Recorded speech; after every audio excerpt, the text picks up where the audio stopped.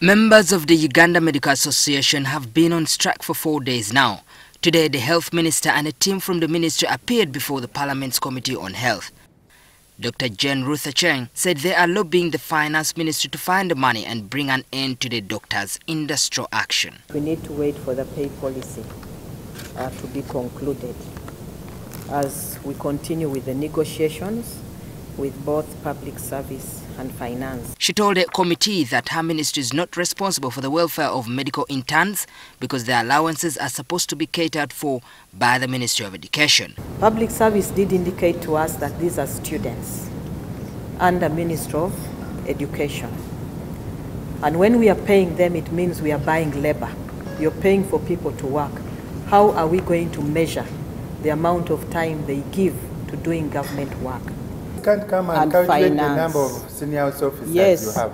So the senior house officers chair are officially under Minister of Education. But they work in Mulago, which is a Minister of Health institution. They are the bulk of the labor. You should accept the problem.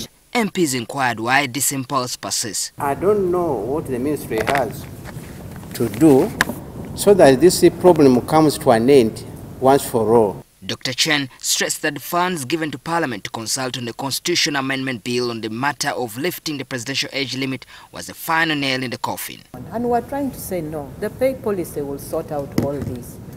But the final nail was the 29 million.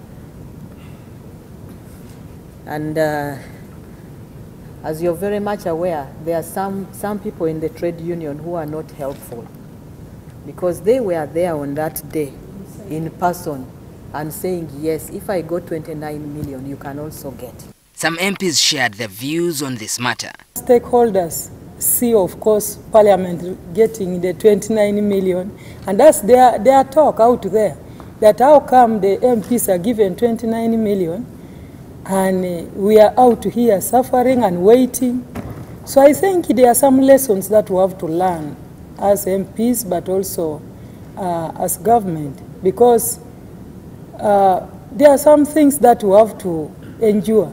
Uh, someone who went there and was trying to uh, catalyze that maybe these health workers should should should uh, should stage a strike because we got one or 29 billion uh, 29 million.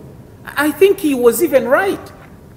He was right. Didn't you see that even some of the members of parliament never used the money Others hinted that infighting among the ministry's top officials could have led to the doctor strike.